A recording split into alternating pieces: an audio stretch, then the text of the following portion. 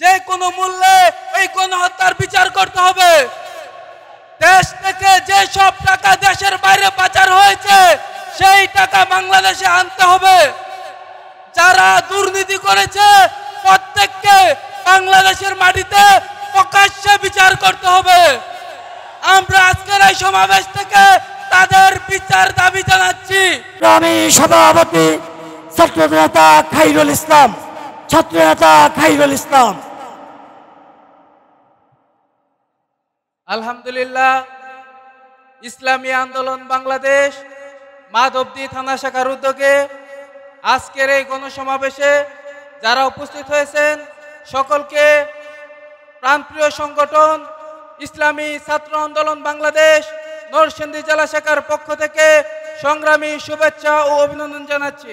শুরুতেই স্মরণ করছি, ইসলামী ছাত্র আন্দোলন বাংলাদেশ নরসিংদী জেলা শাখার সদস্য শহীদ আহমেদকে, যিনি গত আঠারোই তারিখে নরসিংদীতে শহীদ হন। তার আত্মার মাগফেরাত কামনা করছি।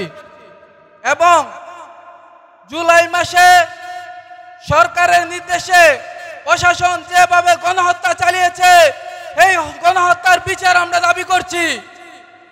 যে কোনো মূল্যে এই গণহত্যার বিচার করতে হবে দেশ থেকে যে সব টাকা দেশের বাইরে পাচার হয়েছে সেই টাকা বাংলাদেশে আনতে হবে।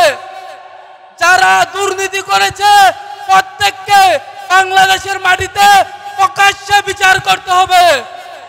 আমরা আজকের এই সমাবেশ থেকে তাদের বিচার দাবি জানাচ্ছি। এবং বৈষম্য বিরোধী ছাত্র আন্দোলনে যারা আহত হয়েছে, তাদেরকে পরিপূর্ণভাবে চিকিৎসার ব্যবস্থা করতে হবে। এবং যারা শহীদ হয়েছে তাদেরকে পূর্ণ জীবন যেন তারা সচ্ছলভাবে চলতে পারে, তাদের পরিবার, সেই ব্যবস্থা করতে হবে। আপনারা জানেন, এই বাংলাদেশ আমরা অনেকবার স্বাধীন করেছি, অনেক শাসকের শাসন দেখেছি। এবার আমরা দেখতে চাই ইসলামের শাসন। এবার আমরা দেখতে চাই পীর সাহেব চরমনাই শাসন। আগামীর বাংলা হবে পীর সাহেব চরমনাই বাংলা। দেখা হবে রাজপথে, কথা হবে স্লোগানে।